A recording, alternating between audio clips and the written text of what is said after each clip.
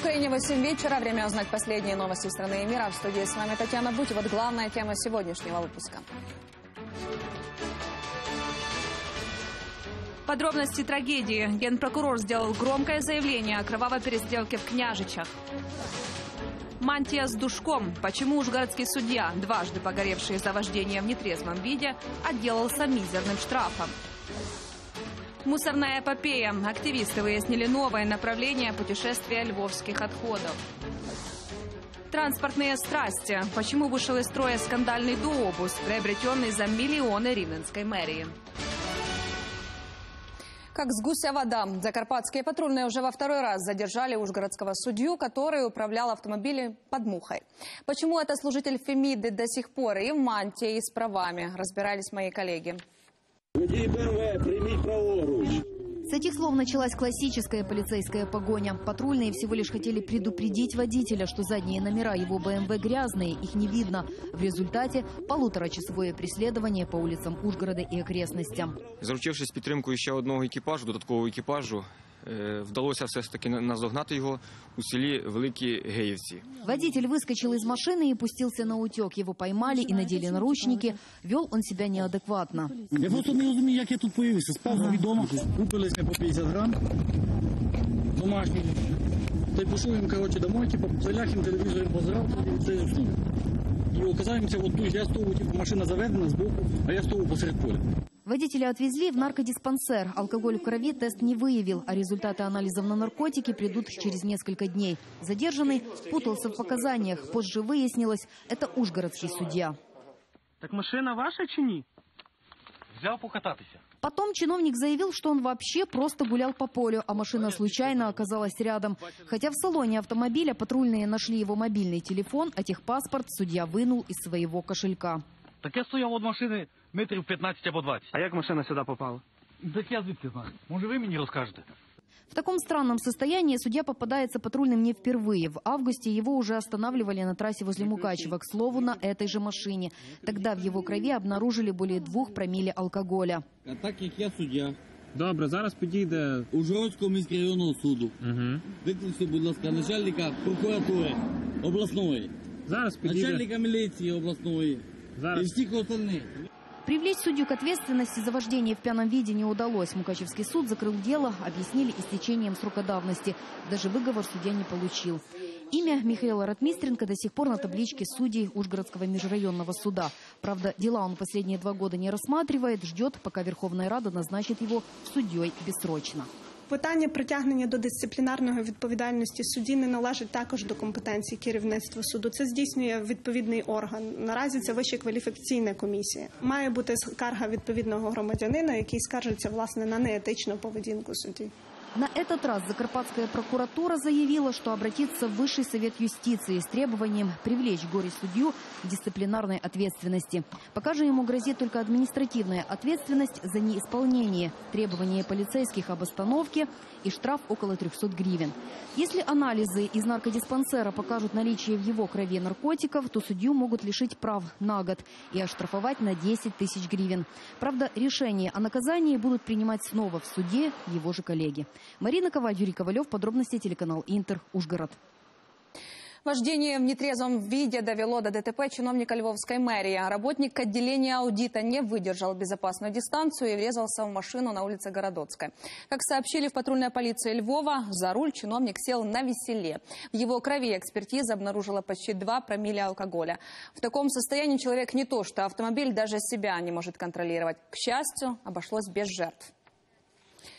А львовский мусор продолжает путешествовать по городам и весям страны. Куда на этот раз чиновники пытались спрятать городские отходы?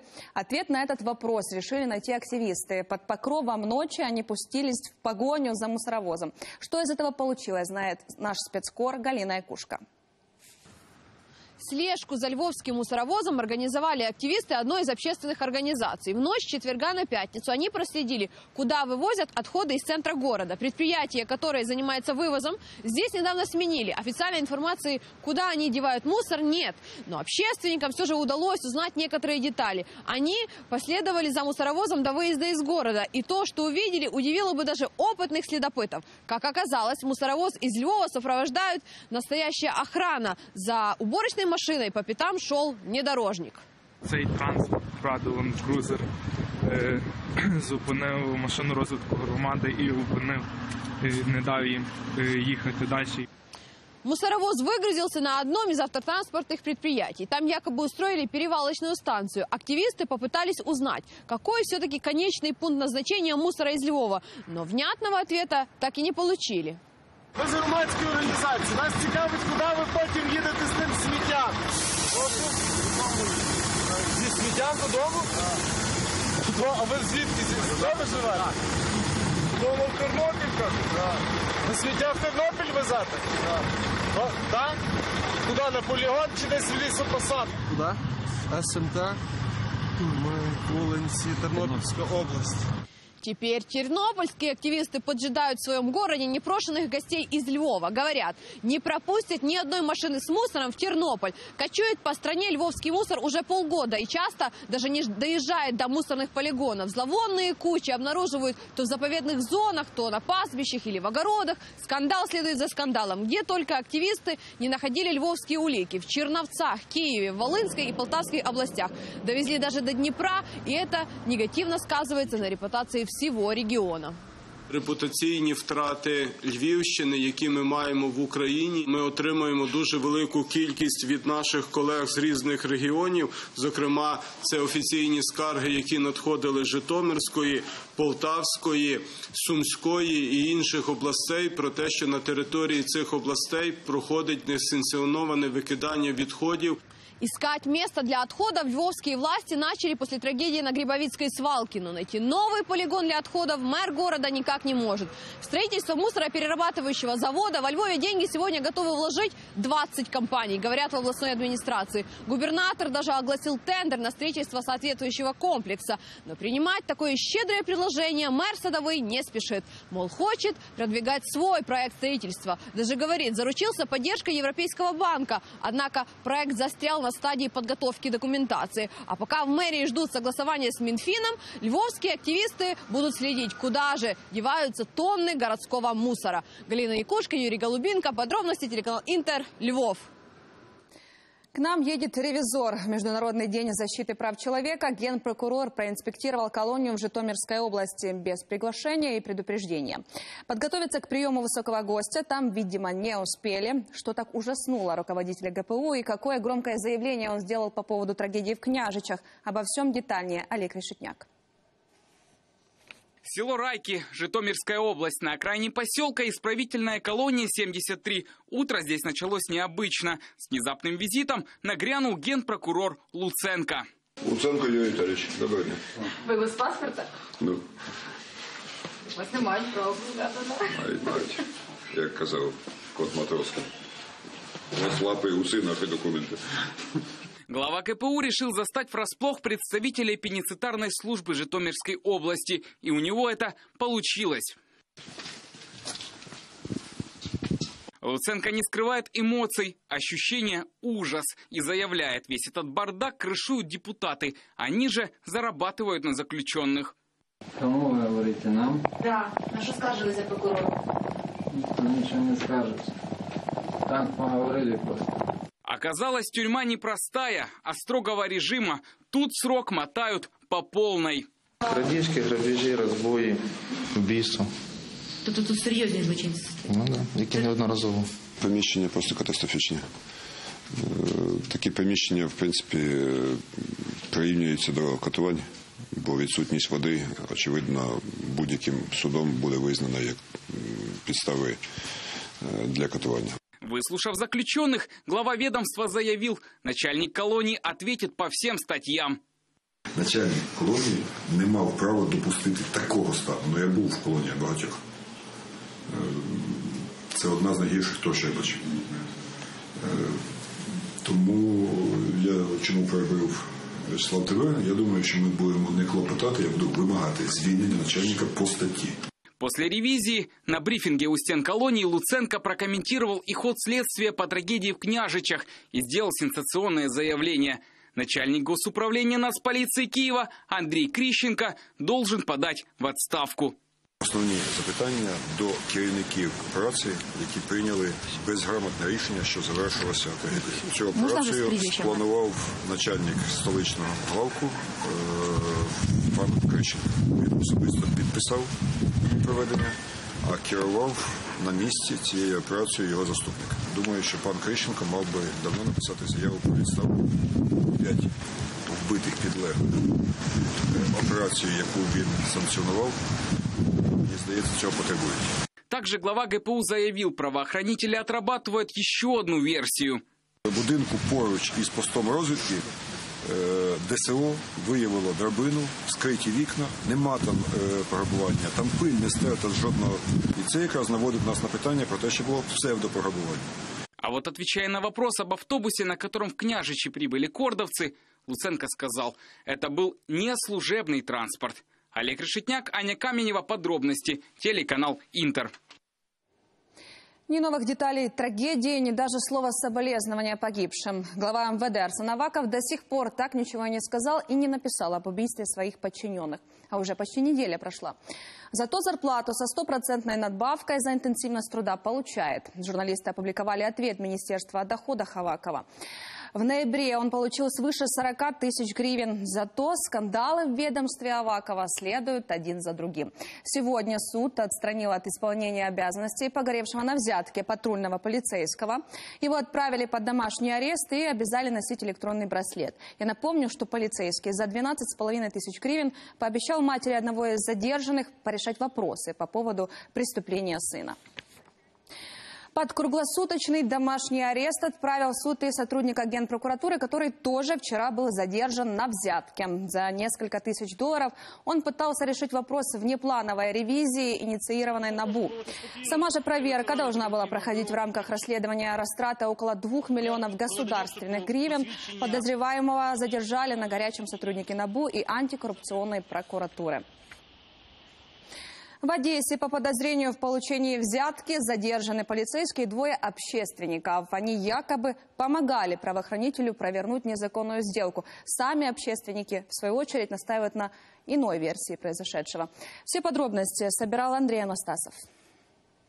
В центре Одессы управление внутренней безопасности полиции проводит спецоперацию. Задерживают своего коллегу, сотрудника одного из райотделов, а также двух общественников-антикоррупционеров. По данным прокуратуры, все вместе они вымогали и получили от местной жительницы три с половиной тысячи долларов за то, чтобы не привлекать женщину к уголовной ответственности Можна сказати, що якийсь певний тиск чинили на людину, і можна сказати, що залякували, що розпочнуть кримінальне провадження, якщо не буде надано певні кошти. Какова была роль полицейского в этой схеме, в прокуратуре не сообщают. Что же касается общественников, то речь об активистах организации под названием «Специальное бюро по борьбе с экономической преступностью и коррупцией». Это Евгений Евсюков и Александр Пескун. Коллеги задержанных утверждают, их соратников подставили. Дескать, Евсюков с Пескуном, помимо прочего, работают адвокатами. И вот эта сумма, причем не в долларах, а в гривнях, предназначалась им в качестве гонорара, а не взятки. А правоохранители, мол, все это в итоге выдали за мздоимство. Пескун и Евсюков активно занимаются антикоррупционной деятельностью. И, возможно, в этом городе перешли кому-то дорогу, и это есть некая попытка скомпрометировать общественную организацию. Так ли это, теперь будет разбираться следствие. Задержанным сегодня объявили о подозрении. Им грозит от 8 до 12 лет тюремного заключения. Андрей Анастасов, Игорь Миханошин. Подробности телеканал Интер. Одесса. Боевики усилили обстрелы практически по всей линии разграничения. Только за сегодняшний день позиции военных наемники обстреляли более 40 раз. Самая напряженная ситуация на Мариупольском направлении. На Луганском и Донецком боевики били из минометов. С передовой материал нашего корреспондента Ирины Баглай. Там Стаханова у нас получается. Это Калинова. Ну и там Дебальцево, там первый бат. Вот конкретно оттуда с-под Дебальцева постоянно работает танчик, САУ работают. Константин с братом в АТО уже второй год. Сами из Днепропетровской области, но ландшафт под Дебальцевым за время обороны уже знают как местные. Овраги и лесопосадки боевики регулярно используют как пути подхода к позициям военных. В последние дни, говорят армейцы, артобстрелы сменили вылазками диверсионных групп. Пытается постоянно там по балке ДРГ зайти.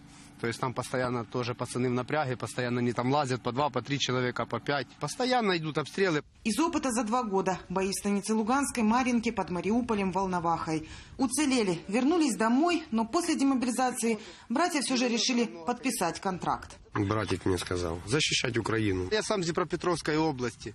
Я вижу, что творится на Донбассе. Я не хочу просто допустить этого, чтобы такое же творилось у нас в Днепропетровщине, в той же Харьковщине, Запорожье, Полтавщине. Чтобы было у нас на Украине тихо, спокойно. Теперь бойцы с опытом – костяк батальона. В основном личный состав, который у нас, это те, те которые четвертая, третья, много первой волны у нас, которые пришли хлопцы, которые по первому зову поднялись и пошли. Это обстрелянные воины, которые прошли не одну ротацию в, в зоне у нас. И практически от них зависит а, передача опыта молодому пополнению, которое приходит. Те, кто прошел горячие точки в 2014-2015 годах, сетуют на одно. Нет команды вперед, идет позиционная война. Боевики открыто укрепляются, а во время боя прикриваються людьми. Їх нахабність е, виявляється тим, що вони використовують місцеве населення мирне. Вони заходять в село, з села починають там по нас е, вести стрільбу.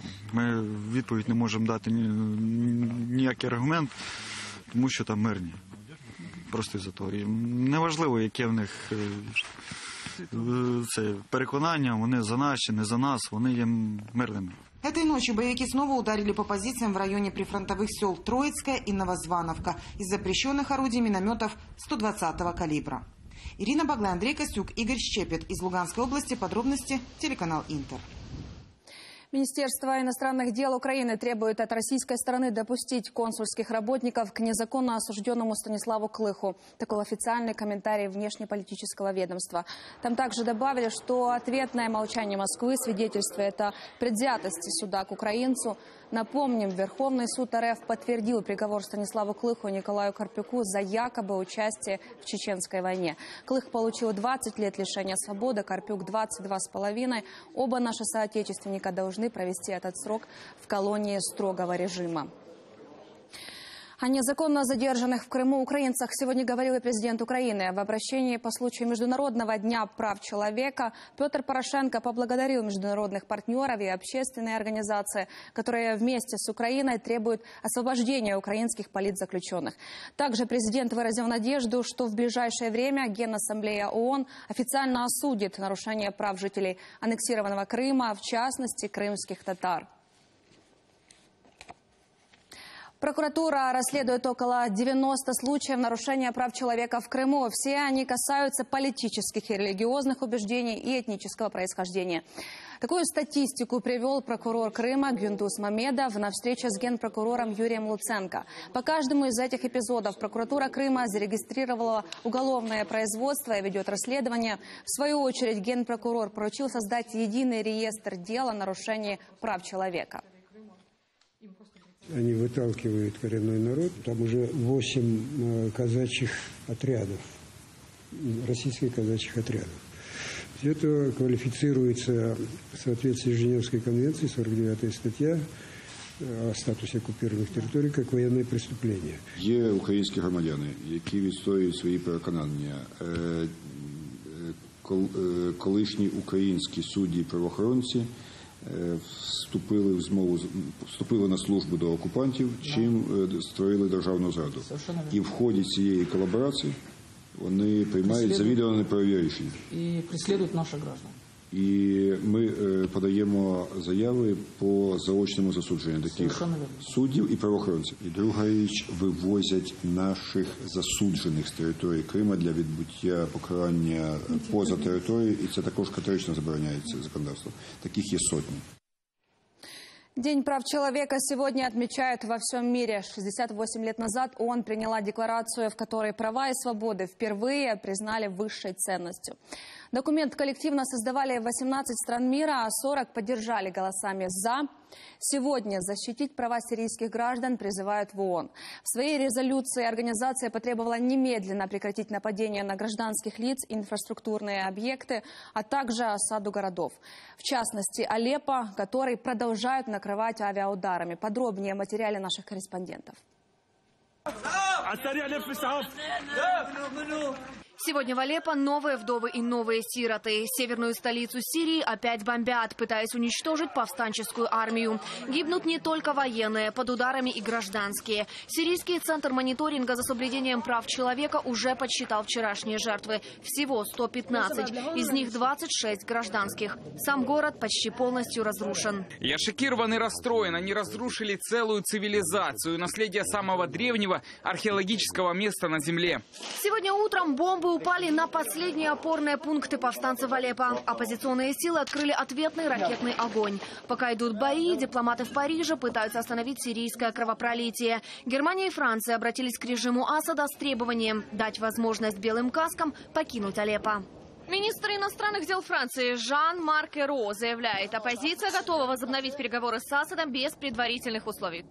Нам нужно найти политическое решение, нужно возобновить переговоры на четкой основе в рамках резолюции ООН. Немедленно прекратить бои в Сирии призывают в ООН. За соответствующую резолюцию проголосовали представители 122 стран-членов организации. Против только 13. Еще 36 воздержались. Кроме прекращения огня, документ предусматривает снятие блокады с населенных пунктов, включая Алеппо, и обеспечение доступа всех нуждающихся в гуманитарной помощи. Беспорядочные бомбардировки, которые нарушают международные нормы права, в большинстве своем это преступление против человечности и военные преступления. Госдеп США уже заявил, падение Алеппо не будет означать победы Асада, а Пентагон объявил об отправке в сирийскую Раку еще 200 военных. Сейчас мы помогаем десяткам тысяч местных сирийских группировок изолировать Ракку, от которой они всего в 25 километрах. До войны в Раке проживало около 240 тысяч человек. С 2014 город является де-факто столицей самопровозглашенного халифата. Джихадисты все еще удерживают города Аль-Баб и Дайрез-Заур. Юлия Мендель, подробности телеканал Интер. По крайней мере, пять жизней унесла сегодня катастрофа в Болгарии. Еще более 20 человек тяжело ранены. Там с рельсов сошел поезд с газовыми цистернами. В МВД страны уже назвали последствия аварии катастрофическими. Давайте узнаем подробности у наших корреспондентов. Товарный поезд, перевозивший сжиженный газ, сошел с рельсов и взорвался недалеко от станции Хитрина, около пяти утра.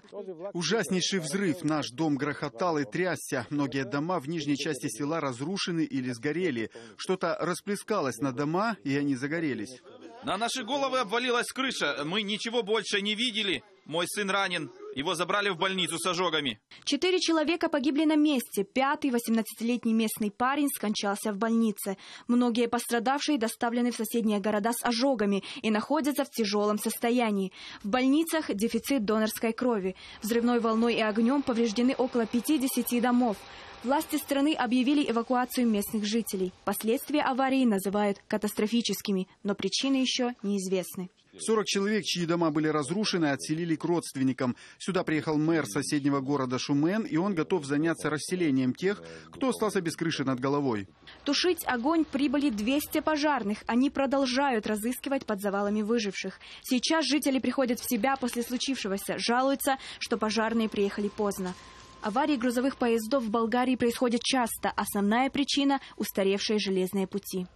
Виталия Кушмрук, Юлия Мендель. Подробности телеканал Интер. Страсти по Добусу. В Ривно за 7,5 миллионов купили чудо белорусского машиностроения гибрид троллейбуса и автобуса. Оно взяло, да и сломалось. Не отъезд две недели. Что случилось и как коммунальщики решали проблему, расскажет Инна Белецкая. Белый, длинный, тихий и красивый. Два в одном может ехать от электричества, как троллейбус, и на топливе, как автобус. Мэр обещал горожанам красивый гибрид на дорогах. І слово своє сдержал, несмотря на цену. По суті, оголосили тендер на закупівлю окремо такого подібного тролейбуса, дообусу. Е, Я так розумію, саме такий хотіли купити. Виділили, якщо я не помиляюсь, е, очікувана вартість 6,5 мільйона. Подались дві фірми, одна дешевша потім відмовилась і купили за 7,5, тобто більше, ніж була очікувана вартість, без особливої конкуренції. О том, сколько стоит чудо белорусского машиностроения, купленное на сомнительном тендере через Днепропетровскую фирму, громко заговорили через неделю после приобретения. Когда дуобус вдруг поломался посреди маршрута, соцсети взорвались фотожабами. Мол, к техническому шедевру прилагается еще старая добрая тягловая сила. Мы же идем на предприятие проверить, что с ним. Гибрид на месте, в депо. Що він заїхав на обід? На обід заїхав? Да. А коли поремонтували? Він сьогодні вранці виїжджав. Мы не надеялись застать директора в выходной день, но, заметив его машину, стали ждать, и нам повезло. Валентин Ткачук возмущен шумихой вокруг дуобуса. Планета стала, якщо почали дзвонити, я на похоронах, а дзвонять. Де поламався? Він же, ну, були те, під час експлуатації деякі були моменти, там чуть-чуть зупинився. Ви що він же на гарантії є. Завод має гарантійне зобов'язання. Гарантия сколько часу? Е, я не пам'ятаю, що сказати. Мы вернулись на предприятие через час, дуобус стоит. Видимо, обед затянулся. Тем временем возмущение горожан капиталовложением властей растет. Это Владимир Муллер, он депутат облсовета. Во время одного из первых снегопадов разбил машину на скользкой дороге. Говорит, власти жалуются, не хватает элементарного грейдеров, а вместо них покупают чудеса техники. Ніхто ж не брав там, не розклав тих 7,5 мільйонів. Скільки це буде, наприклад, щоб добудувати лінії? І за скільки там можна було купити навіть тих самих бушних тролейбусів, які купляються там да, нас історією дуже давно, і все ніби нормально, і вони їздять. Моя суб'єктивна думка, що у нас нагальніших проблем, де ці гроші використати можна набагато більше, ніж просто там їхати Бог знає куди, купляти там Бог зна що. І пускати по місту, а потім ну, щоб ще з тебе кипкували, бо воно там тиждень не поїхало і поламалося. Бо це реально воно. Мэр пока никак не отреагировал на шумиху вокруг чудо-транспорта. В городе же говорят, горосполком планирует закупить еще дуобусы. А вот как решится вопрос недостающей снегоуборочной техникой, пока неизвестно. Инна Белецкая, Николай Василюк. Подробности телеканал Интер. Ривне. Обеспокоены ситуацией на дорогах в Израиле. Там выясняют причины огромного количества аварий. Сотни погибших, тысячи раненых. Такие потери государство не несет даже в боевых действиях. Почему по дорогам еврейского государства опасно передвигаться, расскажет Сергей Ослендер. Накануне госконтролер опубликовал отчет о состоянии дел на дорогах Израиля. Отчет этот общественность буквально ужаснул. Вот простой факт. За год так называемой интифады ножей от рук террористов погибли 38 человек. За тот же самый год аварии на дорогах унесли жизни более чем 350 израильтян. То есть почти в 10 раз больше. Соотношение раненых еще более удручающее. Госконтролер пришел к неутешительному выводу. Израильтяне убивают друг друга куда успешнее, чем террористы. Но если с террористами власти более-менее научились бороться, то для снижения аварийности не делают практически ничего. Более того, например, без всяких видимых причин втрое сократили численность дорожной полиции. Это не замедлило сказаться на ситуации на дорогах. Раньше у нас на дорогах страны было 950 дорожных полицейских, сегодня их стало только 350. И, соответственно, э, полиции нет на дорогах. Всего лишь 115 патрульных машин. Поэтому израильские законы, такие строгие и суровые по отношению к нарушителям дорожного движения, просто не работают, некому следить за их выполнением. Оказалось, что израильтяне ужасно, просто ужасно недисциплинированные водители. Опасные обгоны, езда с огромным превышением, разговоры по телефону на ходу, все это совершенно обычное дело в этой стране. Госконтролер обратил внимание на систему подготовки водителей. Оказалось, что все обучение сводится к тому, как с первой попытки сдать экзамен, а не как правильно и безопасно водить автомобиль. Система образования не устроена, она устроена так, как она как должно было быть 50 лет назад. Она не, про, не, про, не происходило никаких реформ в системе образования. Например, э, ученик, который э, учится водить машину в летнее время, получает свои права, при первом дожде, соответственно, водить машину он не умеет, он теряет управление. В отчете говорилось и о том, что ужесточение наказаний фактически ни к чему не приведет. В последнее время суды стали приговаривать виновников тяжелых аварий к реальным срокам тюремного заключения, но это не помогает. Денег на содержание, строительство и поддержание в нормальном состоянии дорог в Израиле выделяется более чем достаточно. Трассы здесь отличные, система управления дорожным движением вполне себе современная. Так что, как приходит к выводу госконтролер, основная причина аварии – это все-таки человеческий фактор. По смертности от дорожно-транспортных происшествий Израиль среди развитых стран на одном из первых мест в мире. Сергей Услендер, подробности, Ближневосточное бюро телеканала «Интер». Кто сделал предложение руки и сердца перед тысячами свидетелей, что создает неудобства британскому принцу и где по совместительству работает избранный американский президент Дональд Трамп? Все самое необычное, интересное и важное в нашем международном обзоре. Во всех королевских резиденциях Великобритании отныне курение строго запрещено, даже во дворе или в саду, что может создать неприятности для принца Гарри. По слухам, он выкуривает по пачке в день, еще со школьной скамьи. Да и супруга принца Чарльза Камила только недавно избавилась от пагубной привычки. Сигареты свели в могилу отца королевы Георга VI и повлияли на здоровье сестры Елизаветы, принцессы Маргарет. Президент и продюсер в одном лице. Дональд Трамп совместит высокий государственный пост с карьерой на телевидении. Это подтвердил коллега Арнольд Шварценеггер, нынешний ведущий телешоу «Стажер». Знаменитое реалити-шоу стартует за две недели до инаугурации, и Трамп в этом сезоне остается исполнительным продюсером программы. Пока. Предложение руки и сердца, которое затмило концерт суперзвезд. Во время выступления группы Coldplay в австралийском Мельбурне смелый парень вышел на сцену, чтобы задать любимой главный вопрос. Перед толпой при поддержке фронтмена группы Криса Мартина он встал на колени и протянул кольцо своей девушке. Как после такого не ответить «да» со слезами счастья на глазах? Наш эфир подходит к концу. Завтра не пропустите подробности недели с Алексеем Лихманом. И вот главная тема программы. Заговор молчания.